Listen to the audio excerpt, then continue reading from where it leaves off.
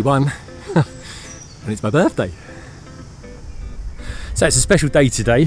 One, the cabin gets started, and two, like I kind of said, it's my birthday. Now, ordinarily speaking, when you get have a birthday and celebrate it and style and all that kind of stuff, well, you get cards. I got cards. I even got a little bit of Lego as well. Also got some interesting deliveries as well, albeit for the cabin. So it was all dropped off in the front garden. There we go. Got some shingle there. Uh, I think the sharp sand we got here. That's quite a bit of it there. We've got some more shingle down there as well, and that's kind of all protected as well. And around here, we've got these bricks here. I think these are the engineering bricks, and they're actually what's going to go on top of the foundations to allow the airflow under the cabin. And then over here, these are the biggest deliveries of them all, is the ballast. And of course, you need the ballast to create the concrete. And of course, where that goes is the foundations.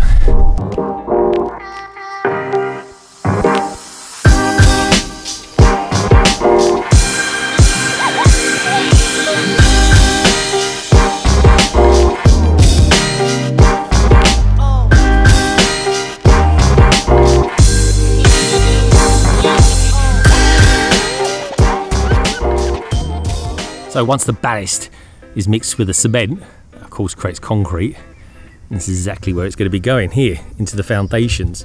Now still a little bit more foundations uh, to be dug out, but as you can see, it's actually the earth. Uh, we kind of thought it would be quite clay, but actually it's quite flinty. There's, there's a lot of flint stones in there. Uh, there's one there. And there's just a collection of some of them that were pulled out. Uh, I thought I might keep and kind of use it for some sort of gardening thing or something like that going forward. I'm not quite sure what, but anyway, it would kind of kind of be in keeping with the garden. And well, seeing as I seem to have a source of quite a lot of them, I thought was thought I might as well keep some of them. But yeah, like I said, it's going to be roughly 30 centimeters wide and about 60 centimeters deep. In fact, it has to be slightly deeper over here because like I said before everything's on a hill and you can kind of see the way it kind of rolls off. I think there's about I don't know 20 centimeters difference between uh, this end and this end over here. So inside the foundations all this area here is kind of still quite grassy and the, the top layer of that is actually going to be taken off what you want to do is you want to prevent any kind of foliage or shrubbery or anything like that um, kind of growing through up onto the building, albeit the kind of the, the base of the building. And what you do for that, we also had this delivered today, and this has got this fabric here, and this fabric you lay over the top of that area, and it pretty much stops anything growing through it, like weeds, uh, maybe even more grass, or just anything else. But it just stops anything growing through and that protects the bottom, or rather the base, of the cabin itself. So all this earth then has got to go somewhere. I haven't actually got a skip for it. So I've got that mound idea.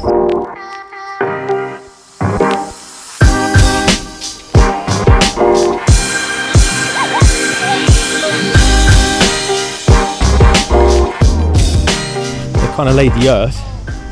I'm saying then we've got this mound. And I think that's looking pretty good as well.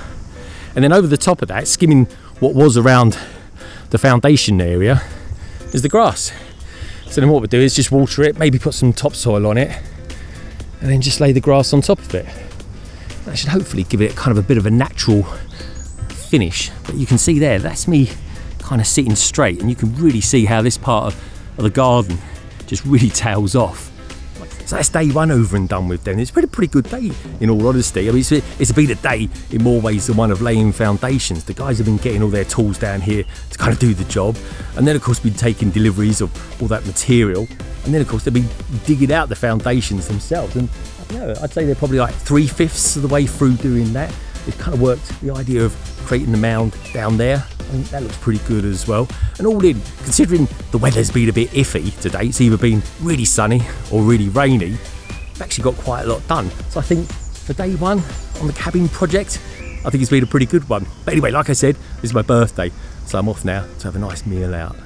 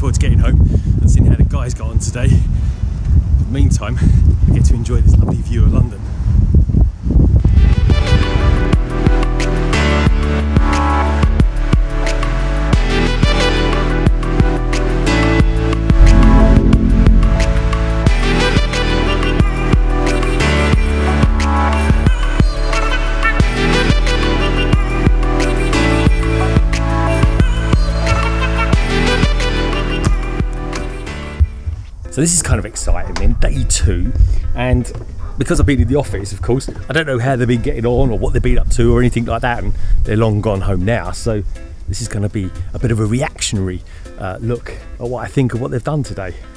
So we've got a bit of a pathway kicking off because some of the grass is wearing out, but that's understandable. But oh wow, this is cool. It's actually starting to look a little bit like a building site.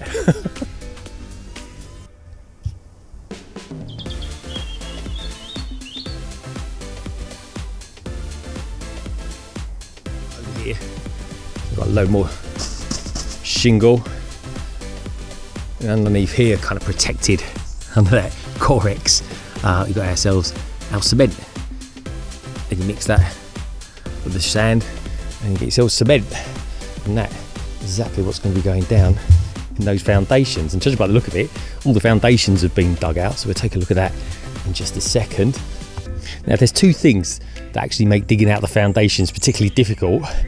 One are these trees here, in particularly the big ash as well, but also flints, flintstones. So I'll just pull you around here. I'll show you some, you know, here's your kind of average kind of size flintstone. Don't think much of that. How about this one over here? this is huge. Look at that. I must have pulled that one out today. But that is the king of the Flintstones. I might call him Fred. so anyway, let's go down and take a look at the mound. So now all the soil's out, get a good idea of how big this mound is going to be. Now, the good thing is, of course, being the earth, like I can kind of walk on it and it will kind of sink down so much lower. But yeah, and that looks okay actually. That's not, when I say bad, it's kind of the amount of space it's going to be taken up. But as it happens, that's not too bad at all. In fact, it's a lot smaller than what I thought it was going to be.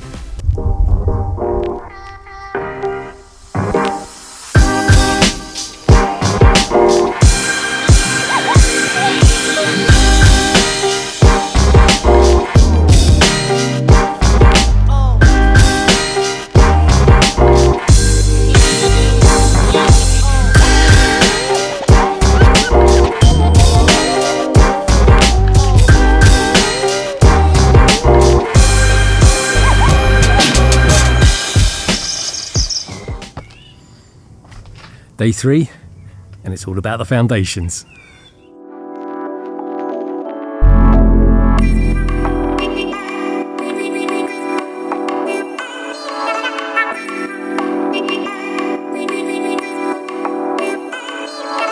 So today's primary objective was to get all the concrete down, and that was a case of knocking it up up there and then getting it down here. And I'm not kidding, folks. It was like something like an assault course that they had to create for it, and just getting it all laid. So if I come around here, under here, you'll see an area of all the concrete there going underneath. So you got the goes 30 centimeters across, 60 centimeters deep, and there was a lot of ballast gone into that as well, which is pretty funky. So the reason it's all protected at the moment like this is because it's due to rain tonight, uh, which is a bit of a pain, but it's only meant to be light showers if it does rain, so that's no big deal. And we'll kind of take all that off tomorrow and see how it looks. But when they were knocking it up, it was a bit like an assault course because they were knocking it up here and then they were carrying it down here, bringing it across, and then laying it all in here. But when we got around to doing this side, that was a different kettle of fish altogether. So what they did was they got this 8x4 board, laid it on here, put some Correx on it, which made it very slippery, and then simply slid down all the concrete down here. And as odd as that may have sounded, it actually proved to be really effective.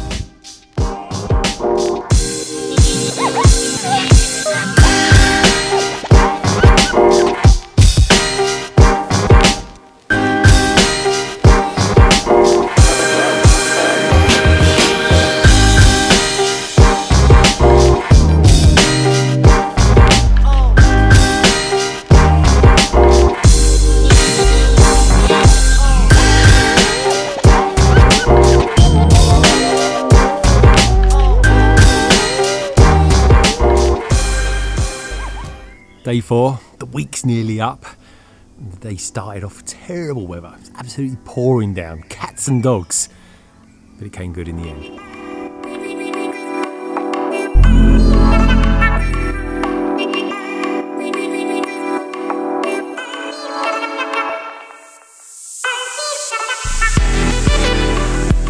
So for the first few hours today, whilst the bricks were being laid, it was just pouring down with rain. It really was non-stop. But as the day kind of wore on, the weather got better. And it came good in the end. It came good at just the right time, in all honesty. So along here, you can see two courses of engineering bricks. And just here, like it says on the tin, these are air bricks. And what they do, they just allow the air to circulate around the base and it kind of keeps it fresh and stops wood rotting and things like that. And then talking of rotting, over here, this is the membrane, this is down as well. And what that does, it just stops anything underneath it, anything kind of green like grass or shrubbery or whatever, uh, growing up through it. And the shingle here is just here, just to hold it down for years to come. Now all the grass that was in here, this kind of middle section, has been taken away and has been put down in the mound. We'll take a look at that in just a moment. So just round here, just spotted there. There we go. It's a downpipe. You might be thinking, on earth have they put a downpipe in there for? Because I'm not, I'm not fitting, fitting any sinks or any toilets to it or anything like that. Um, but that's actually just a pipe to allow the electricity into the uh, into the cabin, and that electricity will be coming down the side of the house, down the garage, along the garden, down here, across this wall here, and then there'll be a path dug underground that will go straight into that downpipe and then into the cabin.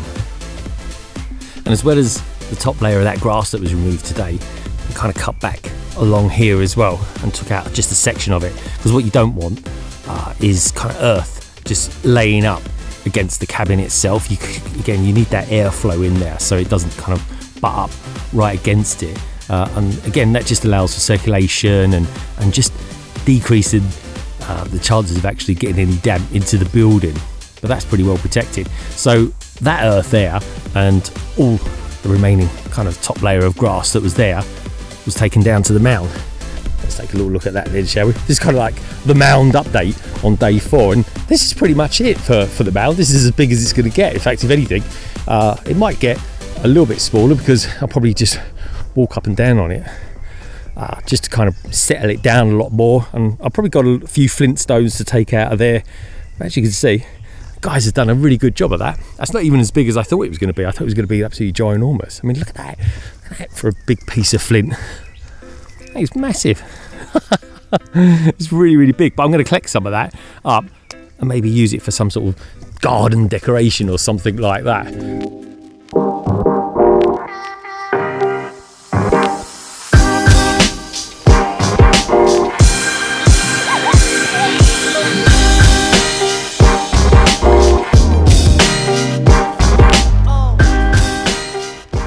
So all that earth that was taken down to the bottom of the garden wasn't actually the only thing that was taken down there today.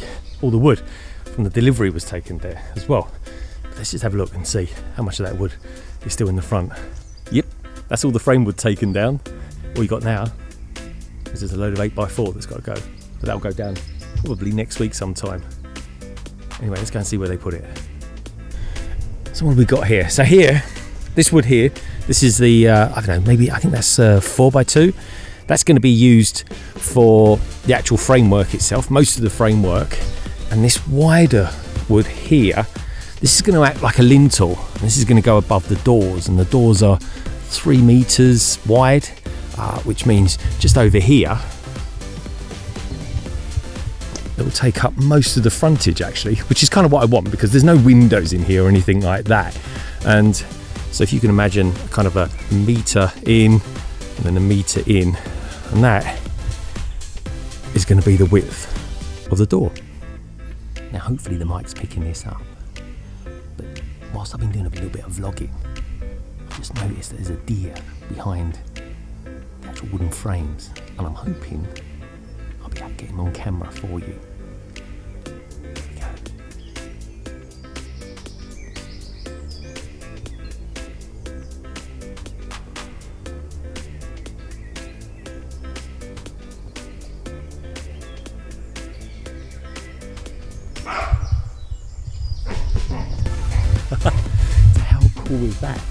Mean, literally, I was about 20 feet away from him, and because he had the wood panels either side of us, he didn't know I was even there. I mean, how he didn't hear me, I don't know.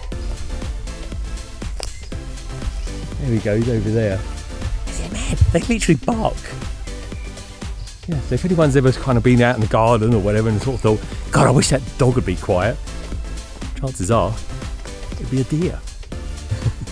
That was so cool. I was not expecting to see a deer. I was hopeful uh, that I'd get some deer come up. but to actually get it on film as well, that's a bit special, that was. So, this here, something I've really noticed, uh, it's, now, it's kind of not grass anymore and it, you know, it's proper building materials. I'm really getting a sense of how big this actually is. So recently, when I was deciding how big this needed to be, I was kind of thinking to myself, mm, maybe I should have done it a little bit bigger.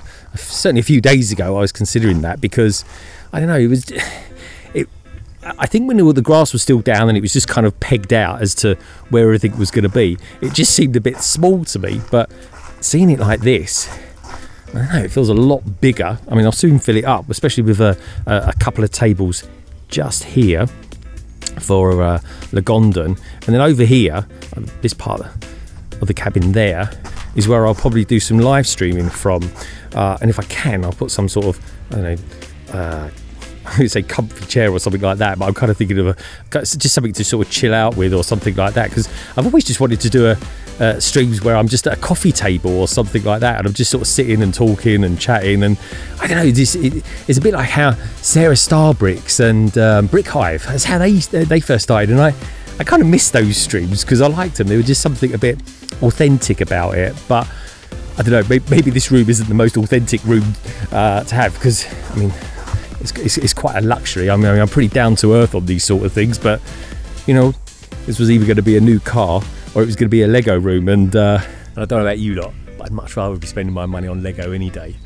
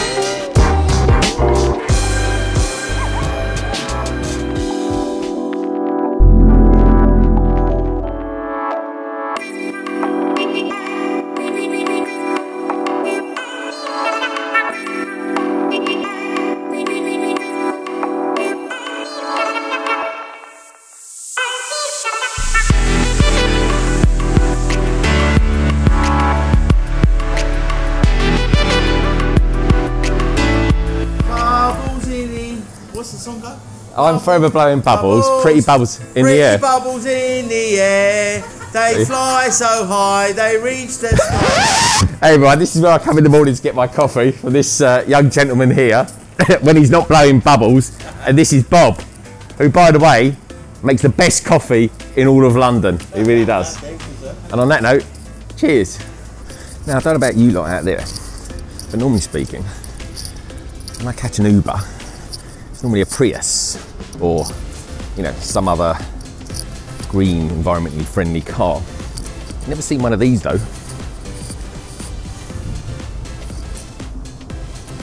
an Uber boat. wonder if I can use them on the app. Oh, that's so much better. So, it's Friday, day five. It's a bit of an overcast day again in London. But I'm not going to be with the boys today. Back in the office. I'm looking forward to tonight. Getting home, seeing what they've done, and catching London calling.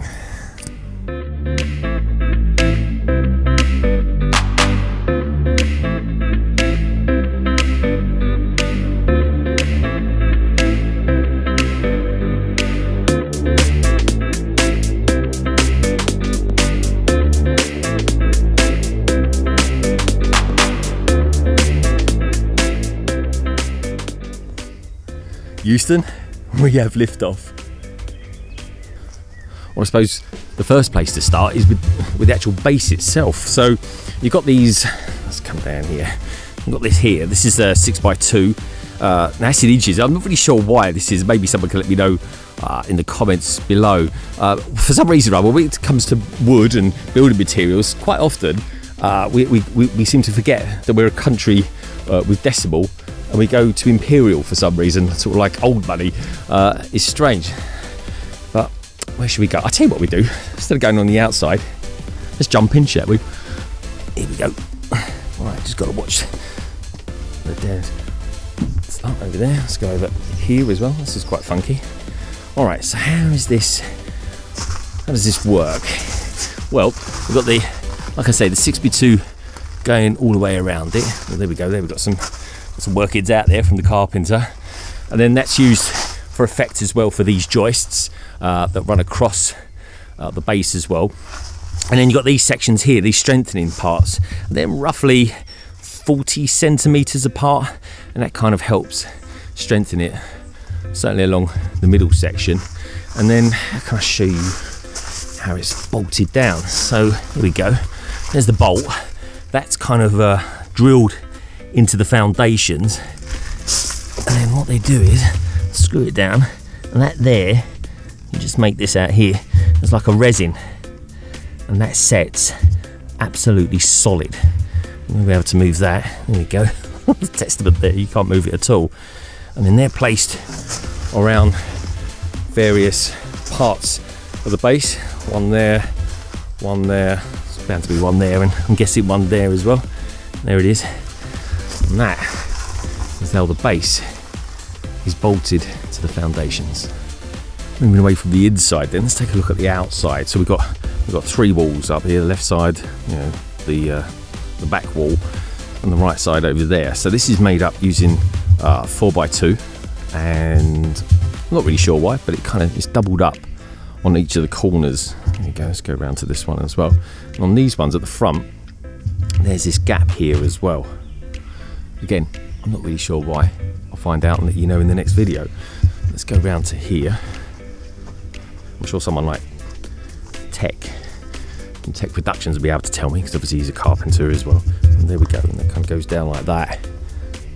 And we've got this this gap there. And then eventually when the doors arrive, and I think they're actually running a little bit late on the doors. They're apparently not due to around uh, June the 3rd or something like that. So fingers crossed they come a little bit before then because I mean, really looking at all this, the guys seem to be a little bit ahead of schedule if you ask me. And they'll kind of rest on this. There'll be some sort of plinth made up uh, and they'll rest on that. But anyway, let's go back to that 4x2. Go over here. So we go, it's doubled up again on this side.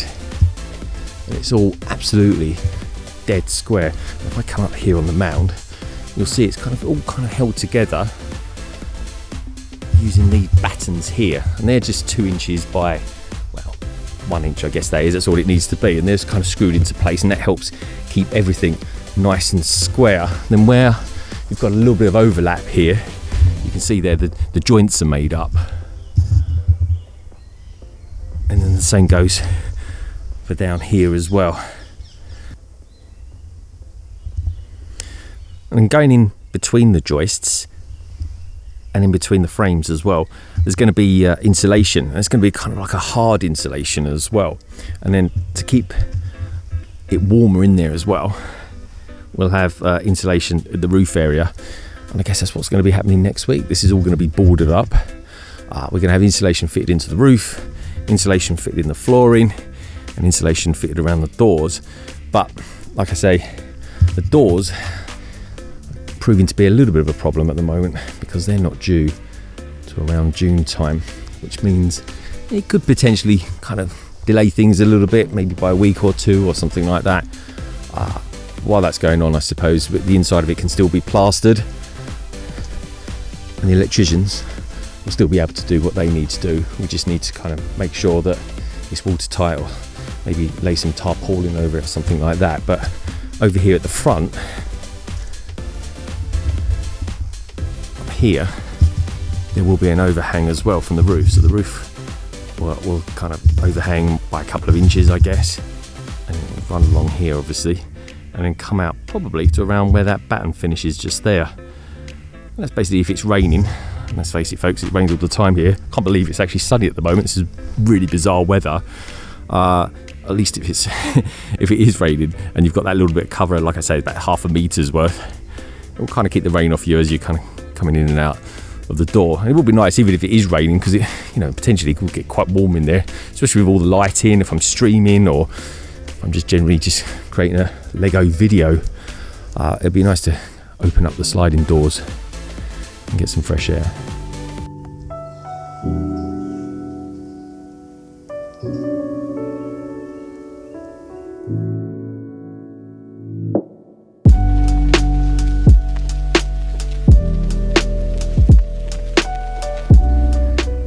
So, day five then, and the guys are absolutely smashing it. In fact, if anything, they're getting ahead of schedule, which is brilliant. Now, the sun's gone in, and I can hear thunder and lightning a couple of miles away. That's probably my cue to get in as well. Have a spot of supper, and get ready for London's calling.